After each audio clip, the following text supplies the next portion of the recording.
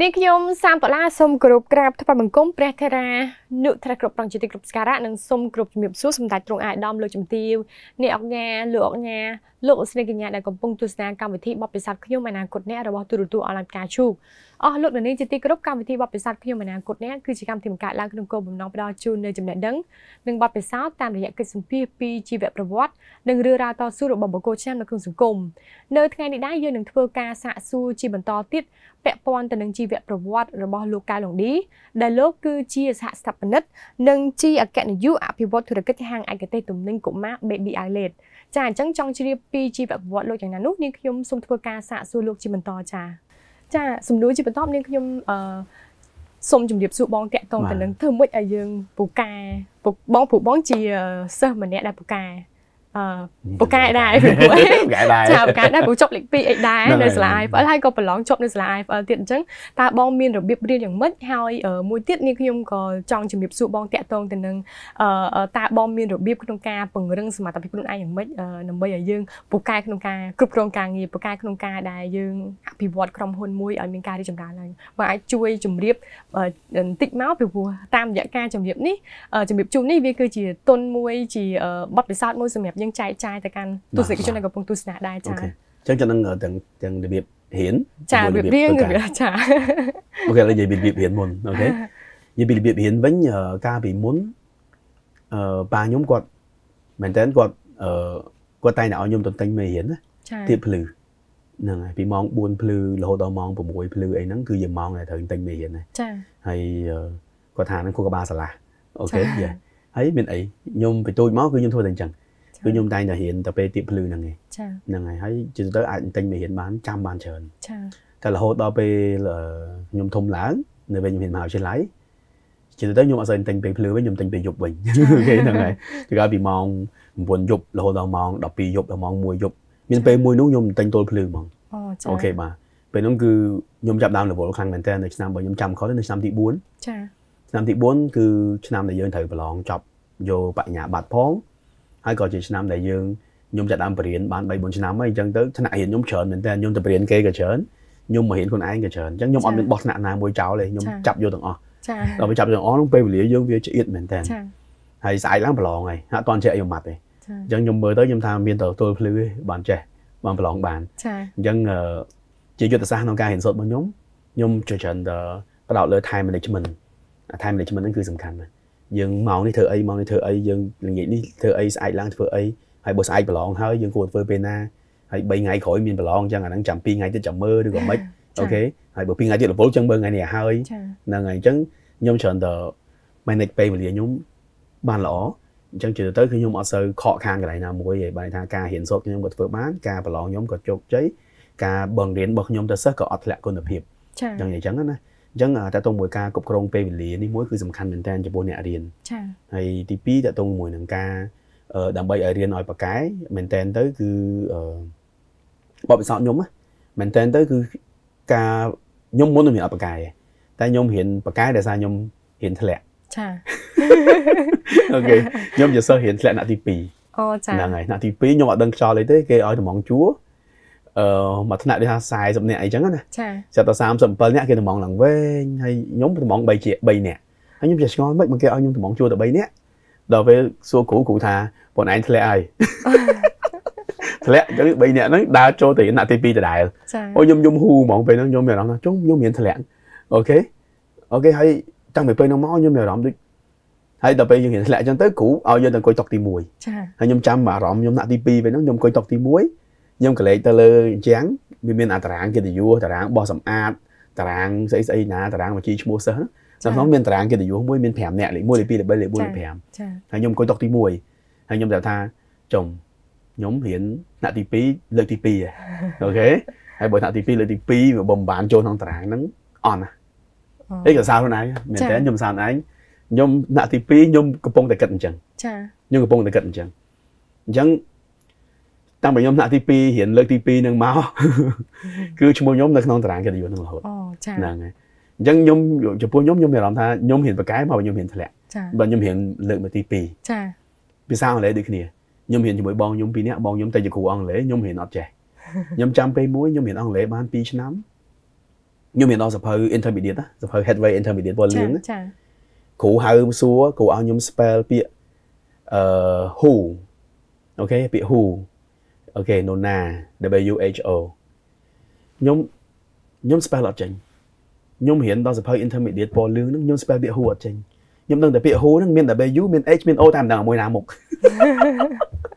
ហើយខ្ញុំ spell ចេញ h o w ចេញ how អូខេបាទហើយគេសោយមកថ្នាក់ខ្ញុំខ្វះគេមែនតើតាំងពីពេលហ្នឹងមកខ្ញុំឈប់រៀនថ្នាក់ហ្នឹងហ្មងដោយសារកាលហ្នឹងយើងរៀនបងមួយមួយថ្ងៃ500 700អីអីចឹងឯងចាខ្ញុំឈប់រៀនថ្នាក់ហ្នឹងហ្មងខ្ញុំតម្លាក់ខ្លួនឯងហ្មងខ្ញុំទៅរៀនថ្នាក់ elementary ឡើងវិញតម្លាក់ខ្លួនឯងហ្មងព្រោះយើងរៀនចឹងចឹងមានណាទៅតម្លាក់យើងយើងចេះតែរៀនទៅចាតែខ្ញុំមានអារម្មណ៍ថាខ្ញុំទៅមកលេងរួចទេដឹងខ្ខ្លួនវះឯគេងមែនតើដឹងខ្លួនឯងបោះអាសភៅលឿនហ្នឹងចោលហ្មងតិចរៀនសភៅ elementary ឡើងវិញចាហើយសភៅ elementary មិនរៀនហើយចាចម្លើយមិនមានទាំងអស់ចាដូចសិស្សបកាយអញ្ចឹងដូចសិស្សបកាយអញ្ចឹងរៀនឡើងវិញមានអារម្មណ៍ថាបកាយរៀនចេះដល់រៀនចេះមានអារម្មណ៍ថាចាប់ចាប់ជាប់ដល់ចាប់ជាប់ចាប់បានលឿនហ្មងចាហ្នឹងហើយអញ្ចឹងខ្ញុំមានអារម្មណ៍ថាបបពិសោធន៍ខ្ញុំទាំងពីរកន្លែង គឺខ្ញុំសុទ្ធតែរៀនឡើងវិញទាំងពីរចាដែលធ្វើឲ្យខ្ញុំរៀនបកាយចាអញ្ចឹងខ្ញុំនិយាយមិនមែនថាអឺឲ្យយោបល់ទៅបងប្អូនជំនាន់ក្រោយថាតើធ្លាក់មកថ្នាក់សិនណាបើថាយើងអាចមានវិធីសាស្ត្រមួយទៀតគឺរៀនមុនចារៀនមុនរៀនមុនគ្រូយើងរៀនដល់មានទី7សភៅនៅយើងទេមានទី8ដល់មានទី20នៅដៃយើងតាចាយើងមើលទៅអាទី8ស្អីអាទី9អីរៀនមុនចារៀនមុនឆ្ងល់មុនដល់ពេលដល់ម៉ោងគឺយើងមានយើងមានយោបល់យើងមានចម្ងល់យើងមានអឺអឺ ស្អីផ្សេងផ្សេងច្រើនដើម្បីនិយាយជាមួយគ្រូហៃសាច់បើយើងអត់បានមើលអីសោះយើងអត់បានមើលមុនអីមុនចេញមកដល់យើងយើងភ្ញាក់ផ្អើលរហូតអញ្ចឹងយើងរៀនអត់សូវប្រកែហ្នឹងហើយហើយបើការខ្ញុំរៀនខ្ញុំច្រើនតែព្យាយាមធ្វើឲ្យសិស្សល្អហ្មងថាប្រឡងអីអត់ជីវិតលួចមើលគេទេខំប្រឹងខ្លួនឯងពឹងលើសមត្ថភាពខ្លួនឯងអញ្ចឹងអាកតាដែលយើងចិត្តគិតថាពឹងលើខ្លួនឯងហ្នឹងធ្វើឲ្យយើងមេរៀន10ត្រូវតែចេះទាំង10ចាហ្នឹងហើយព្រោះខ្ញុំធ្លាប់ដែរចំការលើមុនខ្ញុំធ្លាប់អត់ចេះអីដែរលួចមើលគេដែរ ភ័យមែនតើហើយពិបាកចាចាហើយអញ្ចឹងចេះសួរខ្លួនឯងថាចុះបើអញចេះទាំងអស់ទៅវាមិនស្រួលអូខេវាពិបាកអាពេលរៀនហ្នឹងមែនតែដល់ពេលចេះទៅប្រឡងវាអត់អត់ភ័យហ្មងចាគ្រូឲ្យទៅអង្គុយឡៃណាក៏អត់ខ្លាចដែរដល់ពេលយើងស្ទើយើងមិនដឹងថាអឺសួយហេងណាអង្គុយចំអ្នកចិត្តអ្នកបកែទៅយើងហេងទៅចាដល់ពេលយើងមានអារម្មណ៍ថាហេងសួយពេកអញ្ចឹងមកចាប់ដើមប្រាប់ខ្លួនឯងថាអត់ទេអត់ធ្វើអញ្ចឹងទេរៀនខ្លួនឯងឲ្យចេះហ្មងហ្នឹងហើយរៀនខ្លួនឯងឲ្យចេះហ្មងអញ្ចឹងយើងអត់ចាំបាច់ពឹងទៅផ្អែកលើពឹងផ្អែកលើណាគេទៀតទេ ចាអចាញ្ចឹងអាកត្តាហ្នឹងឯងធ្វើឲ្យយើងចាប់ដើមគិតថាមែនអូខេបើសិនជាយើងប្រឡង10មេរៀនបើយើងរៀនចិនយើងរៀនម្ដង10មេរៀនអញ្ចឹងចាពេលដែលប្រឡងគេចេញទៅ4ទៅ5មេរៀនទេចាអញ្ចឹងបើប្រាក់ខ្ញុំមួយចំនួនគាត់គាត់បន្ថយហ្មងគាត់រើសយកតែ5មេរៀនទេគាត់រៀនតែ5ទេចាថាអូគាត់ថ្នាក់ធំមកហានិភ័យខ្ពស់ចាអូខេបើខ្ញុំអត់ទេខ្ញុំត្រូវតែរៀនទាំងអស់មានប្រហែលមេរៀនត្រូវរៀនទាំងអស់ហើយពេលហ្នឹងគឺរៀនចេញប្រឡងមួយណាក៏អត់ខ្លាចដែរហើយដឹងតែជាប់ចាហ្នឹងហើយអញ្ចឹងអាទាំងអស់នោះធ្វើឲ្យយើងមានទំនុកចិត្តលើខ្លួនឯងធ្វើឲ្យយើងក្លាហានធ្វើឲ្យយើងពឹងលើសមត្ថភាពខ្លួនឯងអញ្ចឹងក៏វាជាវប្បធម៌មួយដែលធ្វើឲ្យយើងចិត្តបន្តបន្តរហូតរហូតដល់ការងារចាឥឡូវយើងនិយាយដល់ការងារអឺខ្ញុំក៏ពីដើមមកខ្ញុំខ្ញុំធ្លាប់ធ្វើការតាំងពី level ទាបបំផុតរហូតដល់ level ខ្ពស់បំផុតនៅក្នុងក្រុមហ៊ុនចាហ្នឹងហើយមានចំនួនតែងតែសួរខ្ញុំច្រើនអូខេខ្ញុំតែងតែអឺឲ្យយោបល់ទៅវិញថារបៀបជោគជ័យនៅក្នុងការធ្វើការ គឺទី1 ត្រូវដឹងថាការងារដែលយើងកំពុងធ្វើនេះយើងត្រូវធ្វើអីខ្លះចាត្រូវធ្វើអីខ្លះ list down មកទៅសេចេញមកក្នុងនាមជាគ្រូម្នាក់ត្រូវធ្វើអីខ្លះក្នុងនាមជាអ្នកសម្ភារម្នាក់ត្រូវធ្វើអីខ្លះអូខេបន្ទាប់ពីយើង list down ចេញមកបានហើយយើងសួរខ្លួនឯងថាតើយើងអាចធ្វើអីលើសពីនឹងអត់ចាបើមិនបានធ្វើប៉ុណ្ណឹងបើធ្វើប៉ុណ្ណឹងបានហើយអាចធ្វើអីលើសពីនឹងបានអត់លើសពីការរំពឹងទុកអត់បើធ្វើបានព្យាយាមដាក់ចិត្តដាក់កាយធ្វើវាចាកុំកុំខ្វល់កុំបែកកំណត់កុំអីកៅ focus បដោតហើយធ្វើវាឲ្យបានល្អចា បើសិនជាយើងជាគ្រូម្នាក់យើងធ្វើបានល្អយើងអាចធ្វើជាប្រធានគ្រូមួយដ៏ល្អបានបើសិនជាយើងធ្វើជាគ្រូម្នាក់ធ្វើមិនបានល្អផងហើយយើងចង់ធ្វើប្រធានគ្រូយើងជា manager ម្នាក់ធ្វើមិនបានល្អផងយើងចង់ធ្វើប្រធានក្រុមហ៊ុនចង់និយាយចឹងណាបាទយើងជាជំនួយការម្នាក់យើងធ្វើមិនបានល្អផងយើងចង់ធ្វើជាប្រធានផ្នែកចាហ្នឹងហើយ supervisor ធ្វើមិនកើតផងចង់ធ្វើ manager ចា manager ធ្វើមិនកើតផងចង់ធ្វើ director ចាអញ្ចឹងគ្មាននាយកក្រុមហ៊ុនណាល្ងងឲ្យយើងទៅឡើងតួនាទីអញ្ចឹងទេដោយសារ បើយើងជា supervisor ការងារ supervisor មាន20មុខការងារ manager មាន40មុខចាអញ្ចឹងអា20មុខនេះធ្វើបានតែ10មុខទេហើយចង់ធ្វើអា40មុខគ្មានណាគេឲ្យយើងធ្វើទេចាអញ្ចឹងដើម្បីឲ្យយើងរីកចម្រើនបកកែធ្វើការទី1ត្រូវយល់អាហ្នឹងយល់ថាយើងត្រូវធ្វើអីហើយធ្វើលើសពីហ្នឹងបានអត់បើបានធ្វើធ្វើធ្វើធ្វើធ្វើយើងអ្នកធ្វើគេអ្នកមើលចាយើងធ្វើទៅហើយមិនប្រាប់គេទេធ្វើធ្វើធ្វើធ្វើទៅមេយើងម្ចាស់ក្រុមហ៊ុនគាត់ចេះមើលហើយ ចានៅពេលហ្នឹងគឺយើងនឹងមានឱកាសចានៅពេលដែលយើងបានឱកាសគឺយើងវិវត្តពី supervisor ដែលមានការងារ20មុខទៅ manager ដែលមានការងារ40មុខធ្វើអញ្ចឹងទៀតខំប្រឹងធ្វើទៀតការងារ manager មានអីខ្លះធ្វើវាអស់ខំប្រឹងធ្វើវាធ្វើវារហូតចាបាទធ្វើវាទៅដល់ពេលណាមួយគឺយើងនឹងអាចទៅមកជំហានទៀតចាអញ្ចឹងបងអ្នកខ្លះថាធ្វើម៉េចដើម្បីឡើងទៅដល់លើនឹងបានឧទាហរណ៍ថាពីបុគ្គលិកធម្មតាមួយរហូតដល់ម្ចាស់អាជីវកម្មមួយបើយើងនិយាយពីកណ្ដាលវិញតែថា10កម្មចុះចាអញ្ចឹងធ្វើម៉េចបានឡើង10កម្មនឹងបាន ក៏ពិតអ្នកដែលដើរបាន10កម្មហ្នឹងគឺក៏ក៏មិនមែនដើរដោយមានក្រងទុកអីដែរគឺដើរដោយចែកដំទាំងអស់គ្នាទេចាតែសំខាន់ពីកម្មទី1ទៅកម្មទី2គឺយើងត្រូវតែច្បាស់សិនថាកម្មទី1នៅណាហើយឈានទៅកម្មទី2ឈានទៅយ៉ាងម៉េច supervisor ធ្វើឲ្យបានធ្វើ supervisor បានឈានមកកម្មទៀតឡើង manager manager ធ្វើឲ្យបានឡើងទៅ director director ធ្វើឲ្យបានឡើងទៅជា business owner business owner ធ្វើបានទៀតវិវត្តទៅជា investor ទៅជាអីផ្សេងផ្សេងៗទៀតចាមកកម្មមកកម្មមកកម្មមកកម្មយើងចិត្តតែដើរទៅបាន ឱកាសទាំងអស់ហ្នឹងវាមកមហោយើងកម្មថ្មីវានឹងមកវាឲ្យយើងឈានទៅរហូតតែតើកម្មចាស់យើងឈោននឹងសិនចាបាទយើងហ៊ានឈានជើងមកខាងទៀតទៅចាប់កម្មមួយទៀតចាអញ្ចឹងជាយោបល់របស់ខ្ញុំចំពោះអ្នកធ្វើការគឺខំប្រឹងធ្វើស្មោះត្រង់យកចិត្តទុកដាក់អូខេស្រឡាញ់វាដូចរបស់ខ្លួនឯងធ្វើវាដូចរបស់ខ្លួនឯងបាទចាព្រោះអីបើសិនជាយើងធ្វើចិត្តតែខ្លាចហត់យើងធ្វើចិត្តតែខ្លាចតកែមានពេកយើងធ្វើខ្លាចតែខ្លួនឯងចេះពេក យើងធ្វើខ្លាចតែខ្លួនឯងហ្នឹងអញធ្វើអញ្ចឹងអញបកែឡើយអញចូលធ្វើព្រោះយើងនៅតែគិតអញ្ចឹងយើងអត់ទៅមុខទេចាចាយើងអត់រីកចម្រើនទេចាទៅទៅវិញយើងធ្វើបាទយើងធ្វើឲ្យអស់ពីសមត្ថភាពរបស់យើងចាហ្នឹងហើយចាអរគុណច្រើនបងអឺជាបន្តទៀតអឺសូមបងជួយចែករំលែកតិចមកបើសិនជាអឺទស្សនិកជនដែលកំពុងទស្សនាក៏ដូចជាយុវជនដែលគាត់មានគម្រោងក្នុងការបើកអាជីវកម្មតើគាត់អឺគាត់ចង់បើកអាជីវកម្មទទួលបានជោគជ័យចំពោះបងតើបង មានជាគំនិតយោបល់យ៉ាងណាដែរដើម្បីជួយចែករំលែកគាត់តើធ្វើម៉េចដើម្បីអឺ យើងបើកអាជីវកម្មទៅទទួលទទួលបានជោគជ័យចាអូខេអឺមែនតើទៅបើយើងនិយាយពីអ្នកដែលចង់បើកអាជីវកម្មគឺមានច្រើនចាអញ្ចឹងអឺបើយើងនិយាយពីអាជីវកម្មជោគជ័យវាដូចជាដុំតកកមួយនៅលើមហាសមុទ្រអញ្ចឹង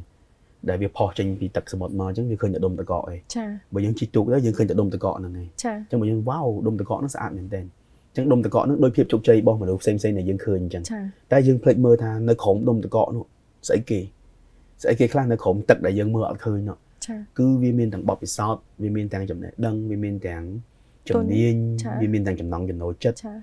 វាមានទាំងពីថវិកាចាវាមានទាំងពីឱកាសហ្នឹងហើយវាមានច្រើនណាស់អញ្ចឹងមុនទៅពេលដែលយើងបើកយើងសួរថាយើងមានអាទាំងអស់ហ្នឹងនៅយើងមានអាទាំងអស់ហ្នឹងនៅចា OK យើងមានជំនាញនៅយើងចង់រកទីអាជីវកម្មបែបហ្នឹងយើងមានជំនាញនៅចា OK ហើយយើងមានអឺអឺ ថវិកាគ្រប់គ្រាន់ដើម្បីធ្វើវានៅយើងយល់ពីអាជីវកម្មហ្នឹងច្បាស់នៅចាយើងមើលទៅគេធ្វើថាអូអានោះច្រើនអស់20000 OK ស្អីយើងដាក់20000ទៅមិនទាន់នឹងបានបើកផងខ្វះ50000ទៀតចាចង់និយាយអញ្ចឹងណាចាណាកាលយើងមើលភ្នែកស្មានតែប៉ុណ្្នឹងអញ្ចឹងយើងយល់ពីវាច្បាស់នៅចាយើងយល់ពីតម្រូវការវានៅយើងយល់ពីតម្រូវការទីផ្សារទាំងមូលហ្នឹងនៅគេហៅ market share យើងយល់អំពីតើក្នុងទីផ្សារទាំងមូលហ្នឹងមានតម្រូវការប្រមាណនៅ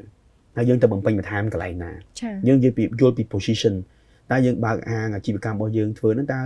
យើងចង់ធ្វើ position វានៅកន្លែងណាហាងដូចគេមែនហាងលំដាប់ផ្កាយ1ផ្កាយ2ផ្កាយ3ផ្កាយ4ផ្កាយ5ហាងតាមចាំថ្នល់ហាងតាមផ្លូវឬក៏ហាងអីគេចាហ្នឹងហើយអញ្ចឹងយើងតើតយល់អាទាំងអស់ហ្នឹងអញ្ចឹងបើសិនយើងចង់បើកអាជីវកម្មវាជារឿងល្អហើយ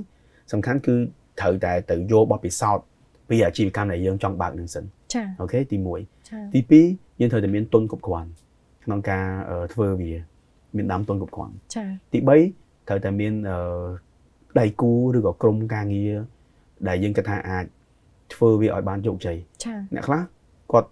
អឺរកដៃគូម្ចាស់អាជីវកម្មអឺជាម្ចាស់ភាគហ៊ុនចាអ្នកខ្លះគាត់មានលុយគាត់អត់ចាំបាច់រកដៃគូតែគាត់រក manager គាត់រកមនុស្សណាដែលអាចមកធ្វើការងារនឹងបានចាចាគាត់ស្រឡឹងមើលហ្នឹងហើយបន្តមកទៀតគឺបើសិនយើងធ្វើជាម្ចាស់អាជីវកម្មយើងត្រូវចេះលក់យើងត្រូវចេះលក់ចេះ sell ចេះបញ្យល់ចេះអឺប្រាប់អំពីលក្ខណៈពិសេសរបស់អាជីវកម្មរបស់យើងយើងត្រូវប្រកែចាបើយើងម្ចាស់អាជីវកម្មយើងតែបង្កើតវាមកហើយយើងអត់ទាំងយល់ឬអត់ចេះបញ្យល់អញ្ចឹងសួរថាណាគេមកតែងយើងចាហ្នឹងអាហ្នឹងគឺសំខាន់មែនតើចាហ្នឹងហើយហើយចុងក្រោយគឺតើតែយើងមានគេហៅមានបេះដូងជាសហគ្រិនភាពហ្មងមានបេះដូងជាអ្នកអូស៊ីហ្មងបេះដូងអ្នកអូស៊ីមកថាម៉េចមិនងាយបោះបង់អូខេមិនងាយបាក់ទឹកចិត្តហ្នឹងហើយគាត់ការលក់វាមិនទៅចឹងរហូតទេការលក់ឯងវាឡើងចុះវាឡើងចុះ ចុះពេលឡើងអទៅពេលចង់អង្គុយភ័យទៅអង្គុយចង់បោះបង់ទៅចាហើយអត់មានធ្វើអីសោះតែវាឡើងមកវិញទៅចាវាអត់ស្រួលអញ្ចឹងទេចាអញ្ចឹងពេលដែលយើងឡើងយើងអទៅពេលដែលចុះយើងខំប្រឹងហូបទីសាយើងអត់បោះបង់ទេចាអញ្ចឹងហើយបានជាអាជីវកម្មមួយមួយមុននឹងបើកតើតែយើងស្រឡាញ់ចាមនុស្សដូចប្តីដូចប្រពន្ធដែលយើងស្រឡាញ់គ្នាអញ្ចឹងប្តីប្រពន្ធដែលយើងនៅមួយគ្នាមិនមែនយើងស្រឡាញ់សប្បាយចិត្តមួយគ្នារហូតទេចាហើយក៏អត់មានមិនមែនអត់មានពេលយើងឆ្លោះគ្នាចាតែបើសិនពេលរាល់ពេលដែលយើងអត់សប្បាយចិត្តមួយគ្នារាល់ពេលយើងឆ្លោះគ្នាយើងរត់តែផ្លូវបែកគ្នា ខ្ញុំជឿថាប្រហែលជាអត់យូរទេចាអញ្ចឹងអាជីវកម្មដូចគ្នាពេលដែលវាកំពុងតែធ្លាក់ពេលវាមានបញ្ហាគឺយើងត្រូវចាប់ដៃគ្នាដោះស្រាយវាបើយើងស្រឡាញ់គឺយើងមានកម្លាំងចាដើម្បីដោះស្រាយវាអចាញ្ចឹងបើម្ចាស់អាជីវកម្មមួយមួយកុំបើកអាជីវកម្មគ្រាន់តែចង់ចំណេញលុយចាតោះតែយើងស្រឡាញ់អាជីវកម្មហ្នឹងដែរចាបើយើងអត់ស្រឡាញ់អាជីវកម្មហ្នឹងទេ យើងងាយនឹងបោះបង់វាក៏ប៉ុតវាឡើងដល់ពេលវាចោះវាចោះតាមផ្លែវាត្រូវឡើងវិញហ៎ចាដល់ពេលកំពុងវាចោះយើងបោះបង់វាហ្មងព្រោះយើងអត់ស្រឡាញ់វាផងចាយើងយើងចង់បានតែលុយដល់ពេលវាបានលុយយើងមិនអចាដល់ពេលអត់បានលុយយើងមិនឈប់ចាតែប៉ុតវាអត់បានលុយតាមផ្លែវាត្រូវឡើងមកវិញហ៎ដល់យើងអត់មានអាអាបេះដូងស្រឡាញ់ហ្នឹងយើងប្រឡែងវាចោលចាតែបើស្រឡាញ់វិញហ៎ទោះបីជាដាបដល់ណាក៏យើងនៅហ្នឹងដែរដើម្បីឲ្យវាឡើងមកវិញចេះចាតែយើងមើលដែរណាមិនមែនមកថាយើងត្រូវតែនៅមួយវាគ្រប់ពេលអញ្ចឹងទេចា៎តែយើងមើលតាមជាក់ស្ដែងអញ្ចឹងបានយើងតើតែមានអឺ ជំនាញមួយចំនួនបាទដូចខ្ញុំបានប្រាប់ខាងលើអញ្ចឹងចាហើយក៏មានត្រូវមានយុទ្ធសាស្ត្រមួយចំនួនក្នុងការធ្វើទីផ្សារយុទ្ធសាស្ត្រមួយចំនួនក្នុងការធ្វើឲ្យផលិតផលរបស់យើងនឹងមានលក្ខណៈពិសេសមានលក្ខណៈប្រកួតប្រជែងអូខេបើយើងដូចគេដូចឯងទេគេថាបើយើងដូចគេដូចឯងទេមានតែលក់ថោកជាងគេទេចាតែបើសិនជាយើងអត់ចង់លក់ថោកជាងគេយើងត្រូវតែខុសពីគេចាហ្នឹងហើយអញ្ចឹងវាត្រូវការឆ្លងកាត់ច្រើនចាហ្ចាហ្នឹងហើយអញ្ចឹងខ្ញុំជូនយោបល់ដែរថាបើសិនចង់បើកអាជីវកម្ម តើតើយកបទពិសោធន៍ពីអាហ្នឹងឲ្យបានច្រើនហើយព្យាយាមផ្សារភ្ជាប់វាចាអូខេផ្សារភ្ជាប់វាចាខ្ញុំនិយាយសារភ្ជាប់ហេតុអីដោយសារដូចខ្ញុំអញ្ចឹងដូចដុល្លារសួរខ្ញុំវិញអញ្ចឹងខ្ញុំនៅវិស័យអប់រំឯងដល់ពេលខ្ញុំចេញមកវិញខ្ញុំទៅជាបើកហាង baby ចាដោយសារខ្ញុំទីមួយគឺខ្ញុំអាចផ្សារភ្ជាប់បទពិសោធន៍ដែលខ្ញុំមានហ្នឹងក្នុងការគ្រប់គ្រងអាជីវកម្មហ្នឹងខ្ញុំអាចយកវាមកច្នៃប្រឌិតថែមមួយចំនួនទៀតអាប់ដេតថែមមួយចំនួនទៀតរៀនសូត្រថែមមួយចំនួនទៀតដើម្បី អភិវឌ្ឍអាជីវកម្មថ្មីបានហើយបូកជាមួយនឹងដៃគូ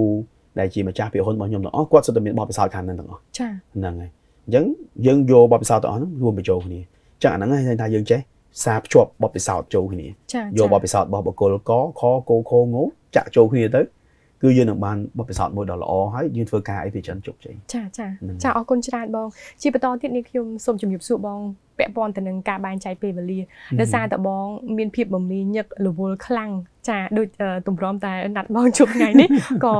ចាស្គិតយកបងគឺអឺចាមានកិច្ចការងារច្រើនទៀតដែលត្រូវបំពេញអញ្ចឹងតើបងមានពេលអឺអឺមានរបៀបក្នុងការបែងចែកពេលវេលាយ៉ាងម៉េចដើម្បីឲ្យខ្លួនឯងមានពេលវេលាយើងធ្វើការផងថែសារសុខភាពខ្លួនឯងផងហើយបង្កើតសុភមង្គលនៅក្នុងគ្រួសារអឺទៀតចា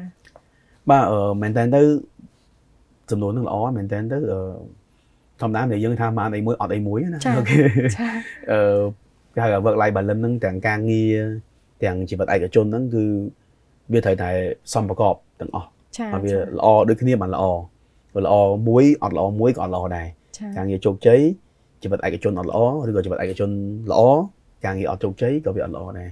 អញ្ចឹងអាហ្នឹងវាជាជាការមួយដែលវាការលំបាកដែរចាក្នុងការបែងចែកចាហ្នឹងហើយទោះបីជារហងៃអឺខ្ញុំជាម្ចាស់ជីវកម្មមែនប៉ុន្តែ ខ្ញុំអត់ដែរប្រាប់ខ្លួនឯងថាខ្ញុំជាម្ចាស់ជីវកម្មទេគឺខ្ញុំតែងតែដាក់ពេលវេលាខ្លួនឯងធ្វើការមួយថ្ងៃ8ម៉ោងអូខេច័ន្ទសៅរ៍ចាសៅរ៍ធ្វើការកន្លះថ្ងៃដូចបុគ្គលិករបស់ខ្ញុំអញ្ចឹងដែរចាពេញលក្ខណៈហ្នឹងហើយពេញលក្ខណៈតែម្ដងអញ្ចឹងអឺលើសពីហ្នឹងគឺយើងមានពេលវេលាច្រើនដែរចាមែនតើទៅខ្ញុំធ្លាប់ធ្វើការមួយថ្ងៃ10ម៉ោង2ដល់10ម៉ោង4ដល់10ម៉ោងអូខេចាខ្ញុំធ្លាប់រៀនបរៀនមួយថ្ងៃ6ដល់10ម៉ោងរហូតមកដល់ម៉ោងនេះ ខ្ញុំគិតថាចំពោះអ្នកដែលធ្វើការមួយថ្ងៃ8ម៉ោងស្តង់ដារមួយល្អហើយហើយមានពេលវេលាគ្រប់គ្រាន់សម្រាប់ខ្លួនឯងសម្រាប់ក្រុមគ្រួសារអូខេបាទអញ្ចឹងអឺបើសិនជាអ្នកទាំងឡាយដែលកំពុងធ្វើការ8ម៉ោងគឺអាចថាកំពុងតែមានផលសំណាងណាចាគឺយើងអាចបែងចែកពេលវេលាបានចាហ្នឹងហើយថ្ងៃអាទិត្យថ្ងៃសៅរ៍ថ្ងៃបុណ្យថ្ងៃអីពេលល្ងាចពេលអីយើងអាចចំណាយពេលវេលាជាមួយក្រុមគ្រួសារយើងបានចាច្រើនចាហើយដូចខ្ញុំមួយថ្ងៃគឺ ខ្ញុំតែងតែចំណាយពេលវេលាជាមួយក្រុមគ្រួសារខ្ញុំច្រើនជាពិសេសជាមួយកូនជាទីស្រឡាញ់របស់ខ្ញុំទាំង3នាក់ហើយជាមួយអឺគ្រួសាររបស់ខ្ញុំអូខេជាមួយម្ដាយរបស់ខ្ញុំអីហ្នឹងគឺអឺឲ្យតែមានពេលទំនេរពីការងារគឺបដោតពេលវេលាទៅពួកគាត់ហើយចាមែនតើទៅជាមួយមិត្តភ័ក្តិគឺតិចតួចបំផុតចាចាហ្នឹងហើយចុះចំពោះសុខភាពវិញបងសុខភាពដូចជាមិនអីដែរអូខេបាទគ្រាន់តែពងនិយាយហ្នឹងផ្ដាសាយបន្តិចអូខេតែចា generally ខ្ញុំគិតថាខ្ញុំសុខភាពល្អចាដោយសារអឺ ដោយសារខ្ញុំអត់ផឹកស្រាចាខ្ញុំអត់ជក់បារីចាអូខេអញ្ចឹងគ្រាន់តែពីរហ្នឹងប្រហែលជាជួយឲ្យខ្ញុំសុខភាពល្អហើយស្រាប់ចាចាហើយប្រហែលជាជួយសន្សំចៃខ្ញុំបានច្រើនមែនទែនហ្នឹងចាហើយហើយបន្តទៀត សង្ឃឹមថានឹងមានពេលវេលាថែសារសុខភាពបានច្រើនជាងនឹងទៀតចាបាទមានកង់ដូចគេដែរតែអត់សូវបានជាចាចាអរគុណច្រើនបងអឺជាបន្តទៀតនេះខ្ញុំអឺសូមជម្រាបសួរបងតាក់ទងទៅនឹងការធ្វើការជាមួយសង្គមអឺនឹងការចែករំលែកបទពិសោធន៍ទៅកាន់អឺកូនក្មួយអឺឬក៏អឺយុវជនអីផ្សេងទៀតដោយសារនៅទីនេះយើងគិតពី3ចំណុចទី1យើងគិតពីសុខភាពដំបូងគេអឺបន្ទាប់មក សមត្ថភាពហើយនឹងគុណធម៌តើបងបានចូលរួមចំណុចមួយណាដែរឬក៏ចូលរួមទាំង3នឹងតែម្ដងចាតើតោះមួយនឹងការចែករំលែកទៅអឺក្មេងជំនាន់ក្រោយដូចជាចា៎កូនជាក្មួយជាប្អូនជាបុគ្គលិកជាមហាជនទូទៅអឺខ្ញុំបានចូលរួមចំណែកច្រើនគាត់បានដែរចាអូខេមែនតើចំពោះកូនក្មួយឯងមិនសូវបានបានវិញព្រោះគាត់ទៅរៀនបាត់បាត់ហើយចា៎យើងទៅធ្វើការបាត់បាត់ ដល់ពេលជួបគ្នាពេលល្ងាចច្រើនតែហត់រៀងខ្លួនទៅអញ្ចឹងចាច្រើនតែមានពេលវេលា relax ច្រើនជាងអឺហៅគាត់មករៀនហៅគាត់មកបរៀនអីហ្នឹងអត់សូវមានទេចាពេលច្រើនគ្រួសារខ្ញុំគាត់បដោតលើការបរៀននៅផ្ទះហ្នឹងច្រើនចាហ្នឹងហើយចាចំពោះកូនខ្ញុំហើយក៏អរគុណគាត់ដែរហើយអឺចំពោះខ្ញុំពេលច្រើនអត់សូវមានពេលបរៀនទេចាអូខេតែអឺជួយចិត្តចំណាយពេលវេលាជាមួយគាត់ចាតែចំពោះមហាជនទូទៅចំពោះបងប្អូនចំពោះអឺយុវជនជំនាន់ក្រោយខ្ញុំមាន បទនភាពដែរគឺខ្ញុំបានចូលរួមចែករំលែកបទពិសោធន៍ដែលខ្ញុំមានហ្នឹងគឺច្រើនបាទតាមរយៈអឺសិក្ខាសាលាសាធារណៈមួយចំនួនតាមរយៈវគ្គបណ្ដុះបណ្ដាលមួយចំនួនគឺខ្ញុំបានចូលរួមយ៉ាងសកម្មចាអូខេដើម្បីចែករំលែកហើយទាំងអស់ហ្នឹងក៏ជាកត្តាជំរុញទឹកចិត្តមួយដែរមែនតើរាល់ពេលដែលខ្ញុំទៅចែករំលែកជាមួយពួកគាត់គឺតែងតែទទួលបាន feedback ល្អៗច្រើនចាគាត់តែងតែមានអារម្មណ៍ថាគាត់គាត់យល់ច្បាស់ជាងមុនគាត់អរគុណយើងដែលបានបង្ហាត់បង្ហាញគាត់ចាព្រោះគាត់ អត់ធ្លាប់ដឹងអត់ធ្លាប់យល់ឃើញអញ្ចឹងដល់ពេលយើងឆ្លងហាកាត់ហ្នឹងទៅយើងមកបញ្យល់ប្រាប់គាត់វិញហ្នឹងគាត់ថាវាត្រឹមត្រូវអីអញ្ចឹងណាចាអញ្ចឹងអាទាំងអស់ហ្នឹងគឺជាទឹកចិត្តមួយដែលធ្វើឲ្យយើងតែងតែជួយចែករំលែកទៀតចាអញ្ចឹងកន្លងមកខ្ញុំចែករំលែកច្រើនដោយសារអឺខ្ញុំធ្លាប់ធ្វើការនៅសាលា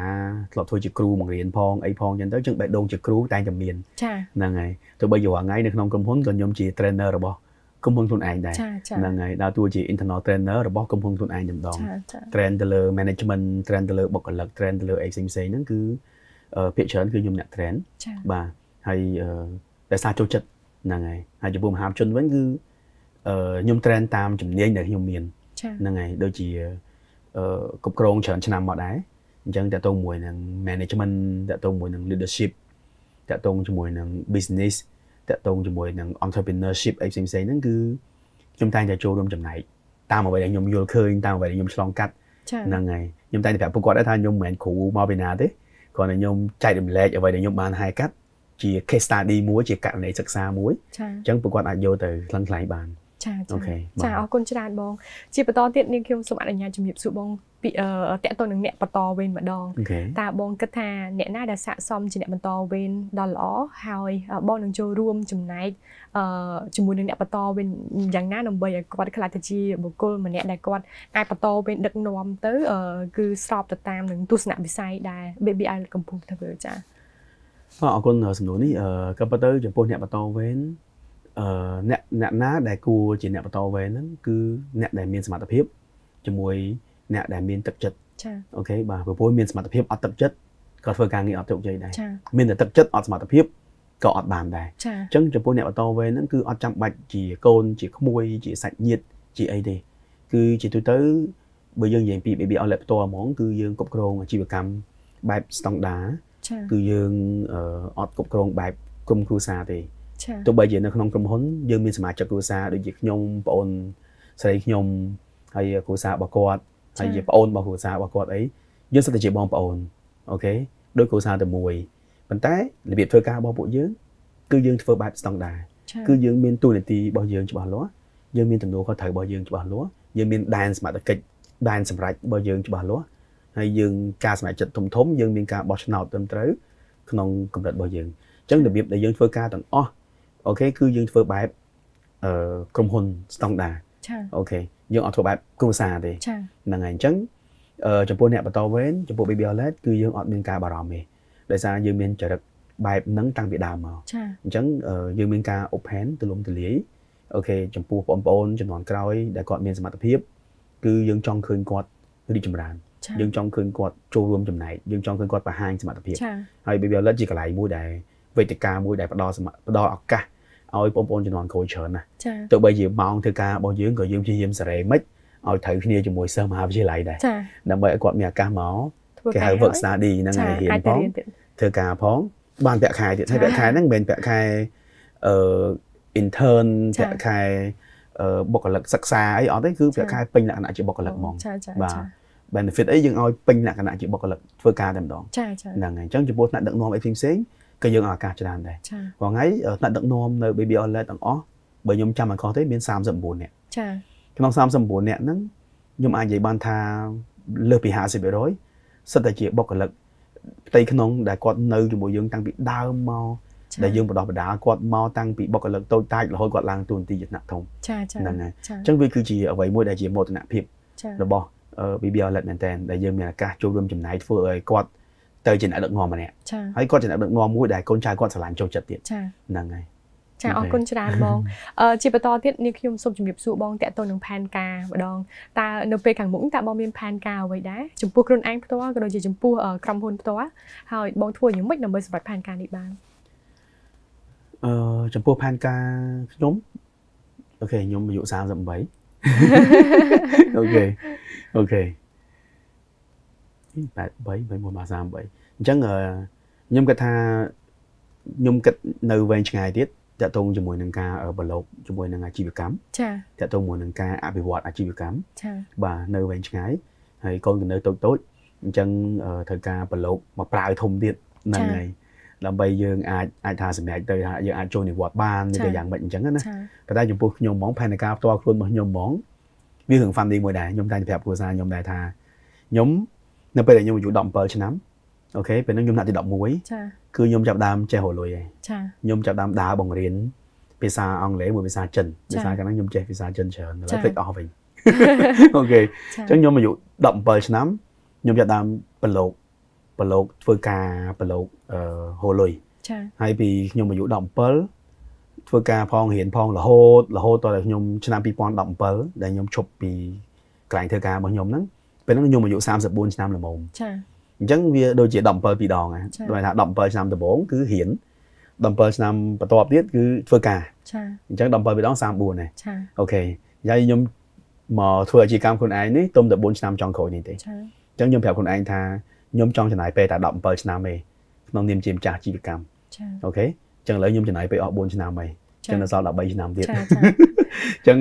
បើសិនជា plan របស់ខ្ញុំបានសម្រេចនៅពេលដែលខ្ញុំអាយុ51ឆ្នាំ17លើកទី3ចាគឺខ្ញុំនឹងចូលនិវត្តន៍អូចាអូខេបាទពេលហ្នឹងខ្ញុំនឹងចាប់ផ្ដើមអឺវិវត្តខ្លួនទៅជា investor អាចទៅជារៀមច្បងក្នុងការចែករំលែកបទពិសោធន៍ទៅបងប្អូនជំនាន់ក្រោយទៅជា consultant ទៅជាអីផ្សេងផ្សេងៗ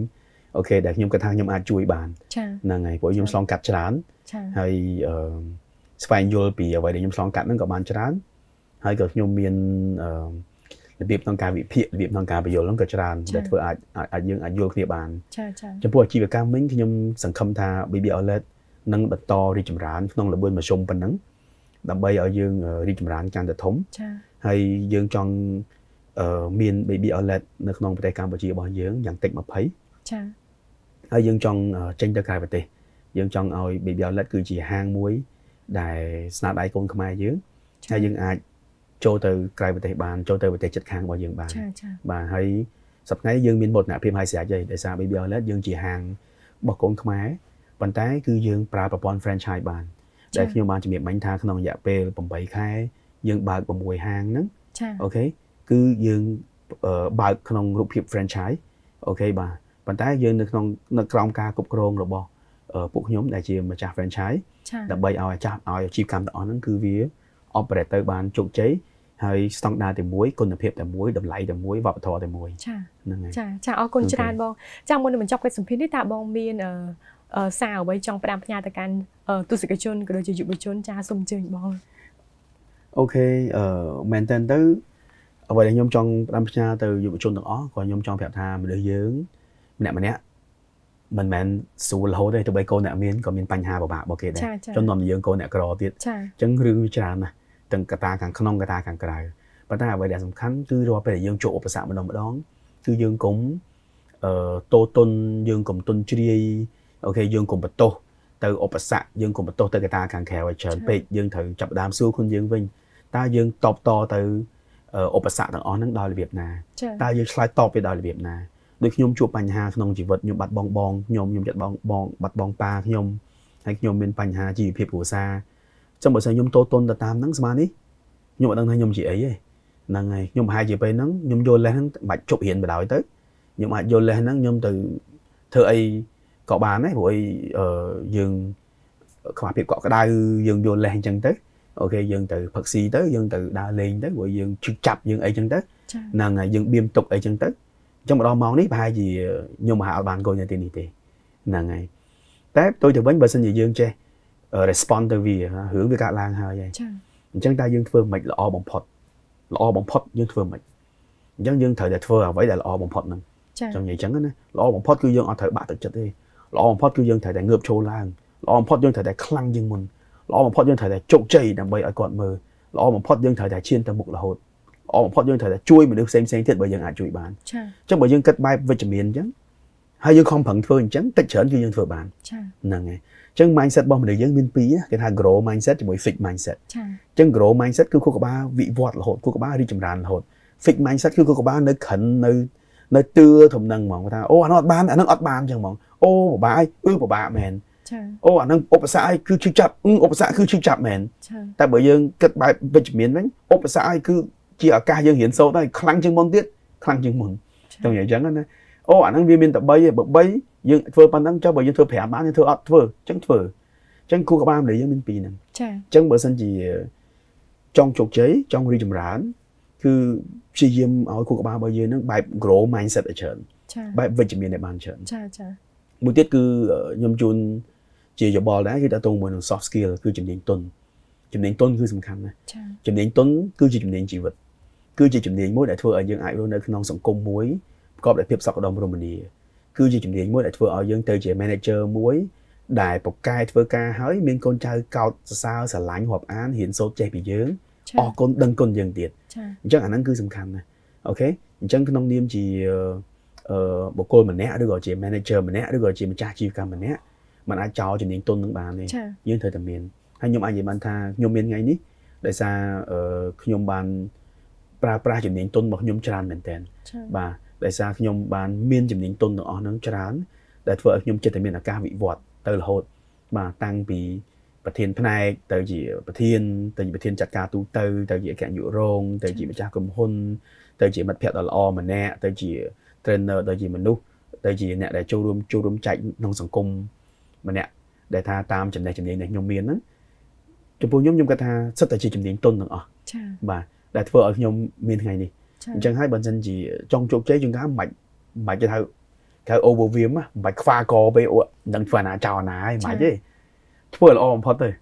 ធ្វើល្អបំផុតក្នុងជាជាបុគ្គលម្នាក់ដូចម្ដាយខ្ញុំបរៀនខ្ញុំអញ្ចឹង